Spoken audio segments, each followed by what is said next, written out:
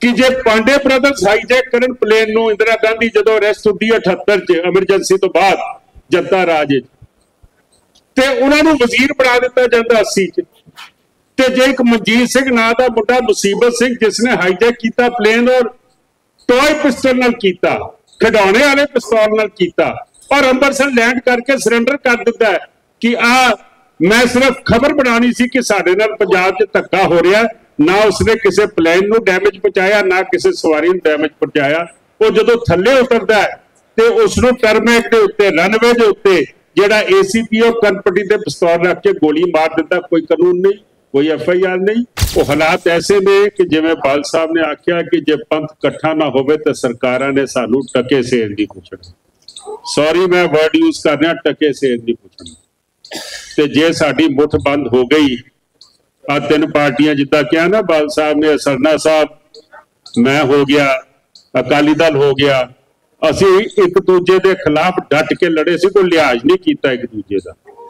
ਲੇਕਿਨ ਅੱਜ ਜੇ ਕੋਈ ਏਕਤਾ ਦੀ ਗੱਲ ਦਾ ਹੁੰਗਾਰਾ ਇਹਨਾਂ ਨੇ ਭਰਿਆ, ਤੇ ਮੈਂ ਉਸ ਤੇ ਆਪਣੀ ਹਾਮੀ, ਆਪਣੀ ਮੈਂ ਸੁਕ੍ਰਿਤੀ ਦਿਨਾ।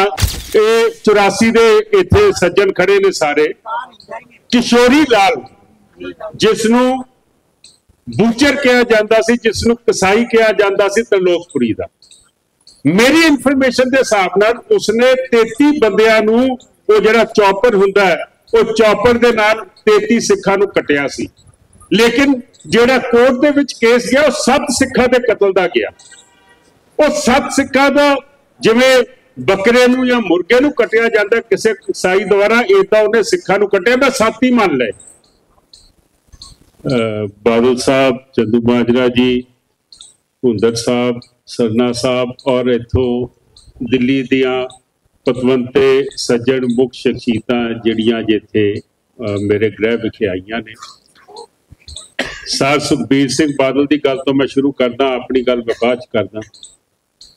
ਕਿ ਜਿਹੜੀ ਫਰਾਕ ਦਿਲੀ ਸ਼੍ਰੋਮਣੀ ਅਕਾਲੀ ਦਲ ਨੇ ਦਿਖਾਈ ਹੈ, ਕਿਉਂਕਿ ਬਾਦਲ ਸਾਹਿਬ ਉਹਦੇ ਪ੍ਰਧਾਨ ਨੇ। ਔਰ ਅੱਜ ਇਹ ਮੇਰੇ ਗ੍ਰਹਿ ਵਿਖੇ ਆਏ ਨੇ। ਔਰ ਇਹ ਅਪੀਲ ਕੀਤੀ ਹੈ ਕਿਉਂਕਿ ਇਹ ਕਾਫੀ ਚਿਰ ਤੋਂ ਸਾਡੀ ਆਪਸ ਦੇ ਵਿੱਚ ਚੰਦੂ ਮਾਜਾ ਜੀ ਦੇ ਥਰੂ ਸਰਨਾ ਸਾਹਿਬ ਦੇ ਥਰੂ ਗੱਲਬਾਤ ਚੱਲ ਰਹੀ ਸੀ। ਸਰ ਪਰਮਜੀਤ ਸਿੰਘ ਰਾਣਾ, ਮਹਿੰਦਰ ਸਿੰਘ, ਸਤਨਾਮ ਸਿੰਘ ਜੀ ਔਰ ਪਰਮਿੰਦਰ ਪਾਲ ਔਰ ਸਾਡੀ ਸੀਨੀਅਰ ਲੀਡਰਸ਼ਿਪ ਜਿਹੜੀ ਸੀਗੀ, ਇਹਨਾਂ ਦੇ ਨਾਲ ਸਾਰਿਆਂ ਦੀ ਮੀਟਿੰਗਾਂ ਹੋ ਰਹੀਆਂ ਸੀ। ਮੈਂ ਸਮਝਦਾ ਕਿ ਅੱਜ ਜੋ ਹਾਲਾਤ ਨੇ ਉਹ ਹਾਲਾਤ ਐਸੇ ਨੇ ਕਿ ਜਿਵੇਂ ਬਾਲ ਸਾਹਿਬ ਨੇ ਆਖਿਆ ਕਿ ਜੇ ਪੰਥ ਇਕੱਠਾ ਨਾ ਹੋਵੇ ਤਾਂ ਸਰਕਾਰਾਂ ਨੇ ਸਾਨੂੰ ਟਕੇ ਸੇਰ ਦੀ ਪੁੱਛਣਾ। ਸੌਰੀ ਮੈਂ ਵਰਡ ਯੂਜ਼ ਕਰ ਰਿਹਾ, ਟਕੇ ਸੇਰ ਦੀ ਪੁੱਛਣਾ। ਤੇ ਜੇ ਸਾਡੀ ਮੁੱਠ ਬੰਦ ਹੋ ਗਈ, ਆ ਤਿੰਨ ਪਾਰਟੀਆਂ ਜਿੱਦਾਂ ਕਿਹਾ ਨਾ ਬਾਲ ਸਾਹਿਬ ਨੇ, ਸਰਨਾ ਸਾਹਿਬ, ਮੈਂ ਹੋ ਗਿਆ, ਅਕਾਲੀ ਦਲ ਹੋ ਗਿਆ, ਅਸੀਂ ਇੱਕ ਦੂਜੇ ਦੇ ਖਿਲਾਫ ਡਟ ਕੇ ਲੜੇ ਸੀ, ਕੋਈ ਲਿਹਾਜ਼ ਨਹੀਂ ਕੀਤਾ ਇੱਕ ਦੂਜੇ ਦਾ। ਲੇਕਿਨ ਅੱਜ ਜੇ ਕੋਈ ਏਕਤਾ ਦੀ ਗੱਲ ਦਾ ਹੁੰਗਾਰਾ ਇਹਨਾਂ ਨੇ ਭਰਿਆ ਤੇ ਮੈਂ ਉਸ ਤੇ ਆਪਣੀ ਹਾਮੀ, ਆਪਣੀ ਮੈਂ ਸੁਕ੍ਰਿਤੀ ਦਿਨਾ। ਮੈਂ ਆਪਣੀ ਪਾਰਟੀ ਨੇ, ਮੇਰੀ ਨੇ ਮੈਨੂੰ ਇਖਤਿਆਰ ਦਿੱਤਾ ਸੀ ਮੀਟਿੰਗ ਕਰਕੇ। ਪੋਲੀਟੀਕਲ ਅਫੇਅਰ ਕਮੇਟੀ ਨੇ ਔਰ ਕੋਰ ਕਮੇਟੀ ਨੇ ਕਿ ਜੋ ਫੈਸਲਾ ਲਓ, ਠੀਕ ਲਓਗੇ। ਮੈਂ ਇਸ ਗੱਲ ਨੂੰ ਐਕਸੈਪਟ ਕਰਦਾ ਔਰ ਕੋਈ ਕੰਡੀਸ਼ਨ ਨਹੀਂ। ਸਰਨਾ ਸਾਹਿਬ ਇੱਥੇ ਪ੍ਰਧਾਨ ਨੇ, ਅਸੀਂ ਨਾਲ ਰਲ ਕੇ ਲੱਗਾਂਗੇ। ਔਰ ਸਾਡੀ ਕੋਈ ਅੱਜ ਇਲੈਕਸ਼ਨ ਨਹੀਂ ਹੈਗੀ ਸਵੇਰੇ ਕਿ ਅਸੀਂ ਕੋਈ ਇਲੈਕਸ਼ਨ ਲੜਨੀ ਹੈ ਤੇ ਕੋਈ ਸੀਟਾਂ ਵੰਡਣੀਆਂ, ਕੋਈ ਇਲੈਕਸ਼ਨ ਜਿੱਤਣੀ ਹੈ ਜਾਂ ਕੋਈ ਅਹੁਦੇ ਚਾਹੀਦੇ ਨੇ। ਸਾਡਾ ਕੰਮ ਇੱਕੋ ਹੈ ਕਿ ਸਾਡੇ ਜਿਹੜੇ ਮਸਲੇ ਨੇ, ਉਹ ਭਾਵੇਂ ਬੰਦੀ ਸਿੰਘਾਂ ਦਾ ਹੋਵੇ, ਉਹ ਆਰਟੀਕਲ 25 ਦਾ ਹੋਵੇ, ਉਹ ਗਿਆਨ ਗੋਦਰੀ ਸਾਹਿਬ ਦਾ ਹੋਵੇ, ਉਹ ਡਾਂਗਬਾਦ ਸਾਹਿਬ ਦਾ ਹੋਵੇ, ਔਰ ਪੰਜਾਬ ਦੇ ਮਸਲੇ ਜਿਹੜੇ ਨੇ, ਕਿਤੇ ਐਸਜੀਪੀਸੀ ਨੂੰ ਹੱਥ ਪੈਣ ਦਿਆ ਕਿਤੇ ਮੈਂ ਸਮਝਦਾ ਕਿ ਐਡਮਿਨਿਸਟ੍ਰੇਸ਼ਨ ਚੰਡੀਗੜ੍ਹ ਦੀ ਯੂਟੀ ਦੀ ਤੋੜੀ ਜਾ ਰਹੀ ਹੈ, ਪੰਜਾਬ ਦਾ ਦਖਲ ਕੱਢਿਆ ਜਾ ਰਿਹਾ ਕਿਤੇ ਭਾਖੜਾ ਨੰਗਲ ਡੈਮ ਦੇ ਵਿੱਚੋਂ ਪੰਜਾਬ ਦਾ ਹੌਲੀ ਹੌਲੀ ਕਰਕੇ ਅਸਰ ਕੱਢਿਆ ਜਾ ਰਿਹਾ ਮੈਂ ਸਮਝਦਾ ਕਿ ਇਹ ਸ਼ਾਇਦ ਆਮ ਲੋਕਾਂ ਨੂੰ ਇਹ ਗੱਲਾਂ ਨਾ ਸਮਝ ਆਉਂਦੀਆਂ ਹੋਣ।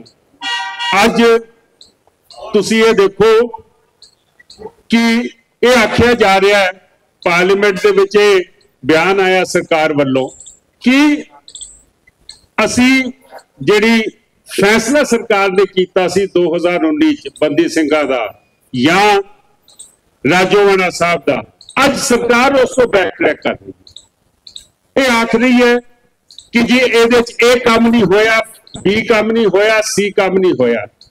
ਮੈਂ ਪੁੱਛਣਾ ਚਾਹਨਾ ਕਿ ਬਿਲਕਿਸ ਬਾਨੋ ਦੇ ਜਿਹੜੇ ਕਾਤਲ ਸੀਗੇ, ਉਹਨਾਂ ਨੂੰ ਉਹਨਾਂ ਨੂੰ ਕਿਤੇ ਮੈਂ ਸਮਝਦਾ ਹਾਂ ਕਿ ਉਹਨਾਂ ਨੇ ਮਾਫੀ ਮੰਗੀ ਸੀ ਕਿਤੇ। ਇੱਕ ਦਿੱਲੀ ਦਾ ਕੇਸ ਮੈਂ ਤੁਹਾਡੇ ਨਾਲ ਸਾਂਝਾ ਕਰ ਲਵਾਂ ਕਿਉਂਕਿ ਆਪਣੀ ਯਾਦਾਸ਼ਤ ਬੜੀ ਘੱਟ ਹੈ। ਪਰਮਿੰਦਰ ਜੀ, ਜੇ ਮੈਂ ਬੀਬੀ ਜੀ ਆਓ। ਕਿਸ਼ੋਰੀ ਲਾਲ ਸੀ ਉਹਦਾ ਨਾਮ? ਇਹ 84 ਦੇ ਇੱਥੇ ਸੱਜਣ ਖੜੇ ਨੇ ਸਾਰੇ। ਕਿਸ਼ੋਰੀ ਲਾਲ, ਜਿਸ ਨੂੰ ਬੂਚਰ ਕਿਹਾ ਜਾਂਦਾ ਸੀ ਜਿਸ ਨੂੰ ਕਸਾਈ ਕਿਹਾ ਜਾਂਦਾ ਸੀ ਤਰਲੋਕਪੁਰੀ ਦਾ। ਮੇਰੀ ਇਨਫੋਰਮੇਸ਼ਨ ਦੇ ਹਿਸਾਬ ਨਾਲ ਉਸਨੇ 33 ਬੰਦਿਆਂ ਨੂੰ ਉਹ ਜਿਹੜਾ ਚੌਪਰ ਹੁੰਦਾ ਹੈ, ਉਹ ਚੌਪਰ ਦੇ ਨਾਲ 33 ਸਿੱਖਾਂ ਨੂੰ ਕੱਟਿਆ ਸੀ। ਲੇਕਿਨ ਜਿਹੜਾ ਕੋਰਟ ਦੇ ਵਿੱਚ ਕੇਸ ਗਿਆ, ਉਹ ਸੱਤ ਸਿੱਖਾਂ ਦੇ ਕਤਲ ਦਾ ਗਿਆ। ਉਹ ਸੱਤ ਸਿੱਖਾਂ ਦਾ ਜਿਵੇਂ ਬੱਕਰੇ ਨੂੰ ਜਾਂ ਮੁਰਗੇ ਨੂੰ ਕੱਟਿਆ ਜਾਂਦਾ, ਕਿਸੇ ਕਸਾਈ ਦੁਆਰਾ ਇਹ ਤਾਂ ਉਹਨੇ ਸਿੱਖਾਂ ਨੂੰ ਕੱਟਿਆ, ਮੈਂ ਸੱਤ ਹੀ ਮੰਨ ਲਏ। ਉਸ ਨੂੰ ਤੁਸੀਂ ਫਾਂਸੀ ਉਹਦੀ ਮਾਫ ਕਰ ਸਕਦੇ ਹੋ। ਉਸਨੇ ਕਿਹੜੀ ਮਾਫੀ ਮੰਗੀ ਸੀ? ਉਸਨੇ ਕਿਹਦੇ ਕੋਲੋਂ ਪਸ਼ਮਾਨੀ ਦਿਖਾਈ ਸੀਗੀ? ਮੈਂ ਸਮਝਦਾ ਕਿ ਇਹ ਜਿਹੜਾ ਚਸ਼ਮਾ ਪਾਉਂਦੇ ਨੇ, ਕਿ ਮੈਨੂੰ ਸੰਤ ਪੜਰਾੜਿਆ ਦੀ ਵੀ ਗੱਲ ਯਾਦ ਹੈ ਕਿ ਜੇ ਪਾਂਡੇ ਬ੍ਰਦਰਸ ਹਾਈਜੈਕ ਕਰਨ ਪਲੇਨ ਨੂੰ ਇੰਦਰਾ ਗਾਂਧੀ ਜਦੋਂ ਅਰੈਸਟ ਹੁੰਦੀ ਹੈ 78 ਚ ਐਮਰਜੈਂਸੀ ਤੋਂ ਬਾਅਦ ਜਨਤਾ ਰਾਜ ਤੇ ਉਹਨਾਂ ਨੂੰ ਵਜ਼ੀਰ ਬਣਾ ਦਿੱਤਾ ਜਾਂਦਾ 80 ਚ।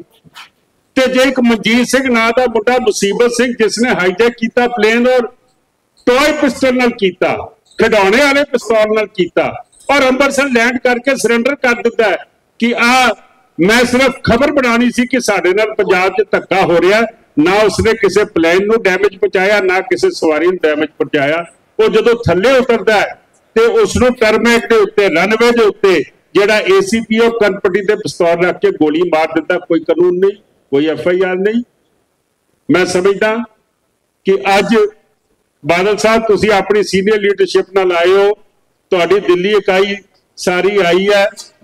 ਇੱਥੇ ਸਾਡੀ ਕੌਰ ਬ੍ਰਿਗੇਡ ਦੇ ਮੁਖੀ ਵੀ ਨੇ। ਇੱਥੇ ਸਾਡੇ ਯੂਥ ਦੀ ਟੀਮ ਵੀ ਹੈ। ਇੱਥੇ ਸਾਡੇ ਸੀਨੀਅਰ ਜਾਗੋ ਦੀ ਟੀਮ ਵੀ ਹੈ। ਅਸੀਂ ਪੰਥ ਦੀ ਤਾਕਤ ਵਾਸਤੇ, ਕੌਮ ਦੀ ਤਾਕਤ ਵਾਸਤੇ, ਆਪਣੇ ਮਸਲਿਆਂ ਦੀ ਲੜਾਈ ਜੂਝਣ ਵਾਸਤੇ। ਮੈਨੂੰ ਯਾਦ ਹੈ 1950 ਚ ਮਾਸਟਰ ਤਾਰਾ ਸਿੰਘ ਨੇ ਪਹਿਲੀ ਦਫਾ ਅਕਾਲੀ ਦਲ ਦੀ ਨੀਂਹ ਰੱਖੀ ਸੀ ਦਿੱਲੀ। ਔਰ ਜੈਦਾਰ ਸੰਤੋਖ ਸਿੰਘ, ਜਥੇਦਾਰ ਹਰਬੰਸ ਸਿੰਘ, ਫਰੰਟੀਅਰ ਬਖਸ਼ੀ ਜਗਦੇਵ ਸਿੰਘ, ਰਾਜਾ ਗੁਲਾਬ ਸਿੰਘ ਸੇਠੀ ਹੋ ਗਏ। ਮੈਂ ਸਮਝਦਾ ਕਿ ਜਥੇਦਾਰ ਜਸਵੰਤ ਸਿੰਘ ਹੋ ਗਏ, ਬਖਸ਼ੀ ਲੋਚਨ ਸਿੰਘ ਹੋ ਗਏ। ਮੈਂ ਪੁਰਾਣੇ ਜਥੇਦਾਰ ਅਵਤਾਰ ਸਿੰਘ ਕੋਹਲੀ, ਜਿਨ੍ਹਾਂ ਦੀ ਸ਼ਹਾਦਤ ਹੋਈ ਸੀਗੀ 5 ਨਵੰਬਰ 1978 ਨਿਰੰਕਾਰੀ ਮੂਵਮੈਂਟ ਦੇ ਵਿੱਚ। ਮੈਂ ਸਮਝਦਾ ਹਾਂ ਕਿ ਇਹ ਪੁਰਾਣੇ ਸਾਡੇ ਸਟਾਲਵਰਟ ਸੀਗੇ। ਔਰ 1950 ਤੋਂ ਅੱਜ 73 ਸਾਲ ਹੋ ਗਏ। ਮੈਨੂੰ ਇਸ ਗੱਲ ਦਾ ਮਾਣ ਹੈ ਕਿ ਮੇਰੇ ਪਰਿਵਾਰ ਨੇ, ਮੇਰੇ ਪਿਤਾ ਨੇ ਜੋ ਸੇਵਾ ਕੀਤੀ, ਬਾਅਦ ਚ ਕੌਮ ਨੇ ਮੈਨੂੰ ਇਹ ਬਲ ਬਖਸ਼ਿਆ। ਅਸੀਂ ਉਸ ਤੇ ਖੜੇ ਹੋਏ ਆ ਅੱਜ ਅਸੀਂ ਬਗੈਰ ਕਿਸੇ ਸ਼ਰਤ ਤੋਂ, ਬਗੈਰ ਕਿਸੇ ਜਿਸ ਨੂੰ ਕਹਿੰਦੇ ਨੇ ਕਿ ਪੋਲੀਟੀਕਲ ਲੈਣ ਦੇਣ ਤੋਂ, ਅਸੀਂ ਇਹ ਤੁਹਾਡੀ ਜਿਹੜੀ ਤੁਸੀਂ ਆ ਕੇ ਇੱਥੇ ਆਪਣੀ ਗੱਲ ਰੱਖੀ ਆ, ਅਸੀਂ ਉਸ ਤੇ ਫੁੱਲ ਚੜਾਉਂਦੇ ਆ ਅਸੀਂ ਸਤਿ ਸ੍ਰੀ ਅਕਾਲ। ਮੈਂ ਸਮਝਦਾ ਕਿ ਕੌਮ ਜਿਹੜੀ ਹੈ, ਉਹਦਾ ਇਸ ਵੇਲੇ ਮਫਾਦ ਪਹਿਲੇ ਹੈ, ਸਾਡਾ ਮਫਾਦ ਬਾਅਦ ਚ ਹੈ ਔਰ ਆਉਣ ਵਾਲੇ ਸਮੇਂ ਚ ਅਸੀਂ ਇੱਕ ਤਾਕਤ ਬਣ ਕੇ ਕੌਮ ਦੇ ਮਸਲੇ ਹੱਲ ਕਰਾਵਾਂਗੇ।